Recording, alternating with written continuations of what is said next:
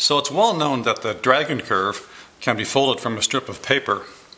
It turns out some other fractal curves can as well. I'd like to show how to fold the Sierpinski arrowhead curve and also the terdragon curve. First, reviewing how the uh, dragon curve works.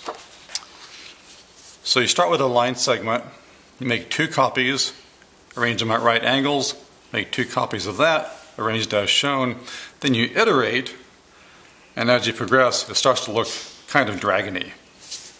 Okay, to fold this, we start with a strip of paper. We're going to fold it in half, like so. Get it even.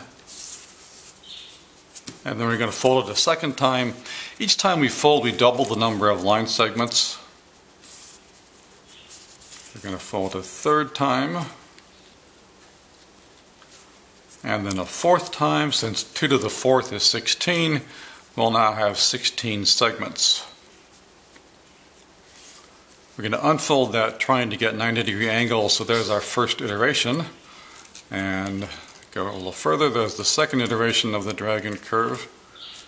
And if we keep going, there's the uh, third iteration and finally we have the, the fourth iteration. If you want to check that, we can uh, just lay it on top of this guy.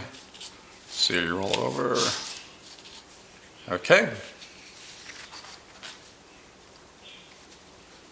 Now moving on to the Sierpinski arrowhead curve. You may not be familiar with this one. You start with one line segment, triple it, arrange it like this. These are 120 degree angles. You arrange three copies of that as shown, one facing out and two facing in. And as we iterate, it looks more and more like the Sierpinski triangle. And after two more iterations after this, you can very much see the Sierpinski triangle character.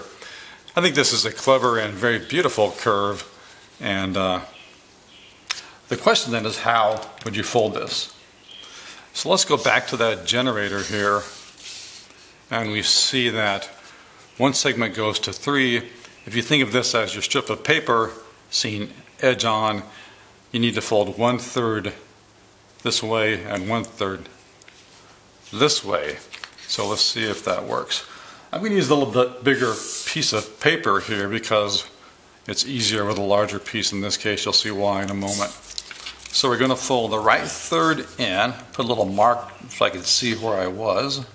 Otherwise it's kind of hard to judge that first one. And we're going to fold the left side in. Okay. Now let's just do that again. We'll fold the right side in about a third of the way. Left side about a third. Do that one more time. And these are getting kind of small and thick. That's why a smaller sheet of paper is a little harder. This one's 17 inches long. Regular one is 11 inches long. Okay, we'll just fold this part in, push down hard. So 3 cubed is 27. We should have 27 segments if we start to unfold that, trying to keep 120 degree angles, there's our first iteration. And go a little further, we get the uh, second iteration of the curve. Okay, something like that. And finally we get the third iteration. So that's all there is to, uh, to folding this curve. Try to get those angles right. And there's the third iteration of that curve. If you want to see more detail, you can combine more than one of these. So let me take two that I folded earlier, and these have to point inward. So it'll join like that. And one more joins like this. Now, if you're a math teacher and have a class with 27 students, you could join 27 of these, and that would really look cool. So that's the Sierpinski arrowhead curve. Finally, I'm going to um, fold the terdragon curve. In this case, as in the arrowhead curve, you have three segments, but they're not folded the same way, and the angles are 60 degrees.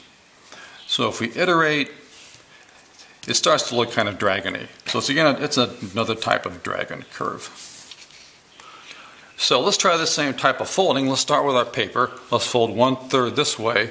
Then the other third is going to fold that way.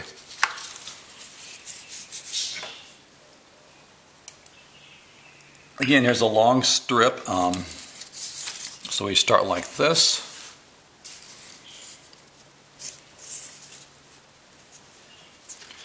Now this other third has to fold backwards in this case. Like so. And we're going to iterate that.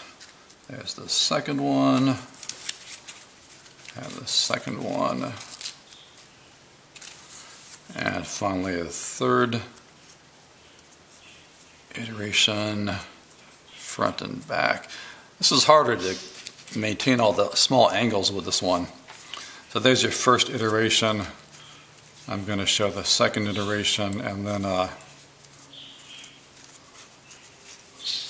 let's say something like this. You know, angles need to be small. And uh, I'm just going to skip to one I folded earlier rather than fuss around with all those small angles. And it'll look something like this. So that's the terdragon curve.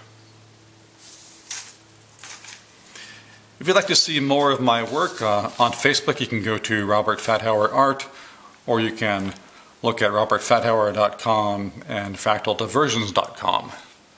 Thanks for watching.